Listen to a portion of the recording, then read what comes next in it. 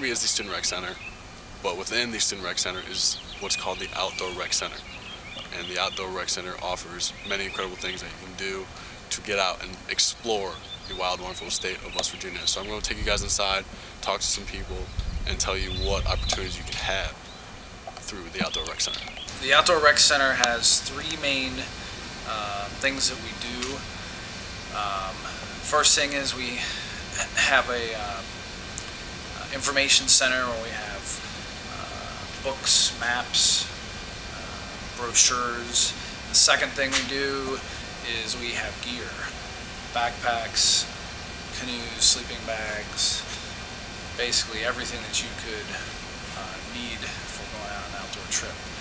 And then the third thing we do is we, you know, we go out and we take trips. Are you guys in charge of the rock climbing wall?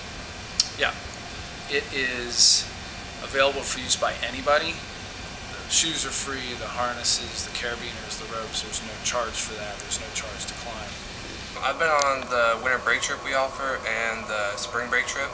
The winter break trips to Texas and New Mexico to Big Bend National Park, and the winter or the spring break trip is to Moab, Utah, and uh, we backpack in Canyonlands and Arches National Park.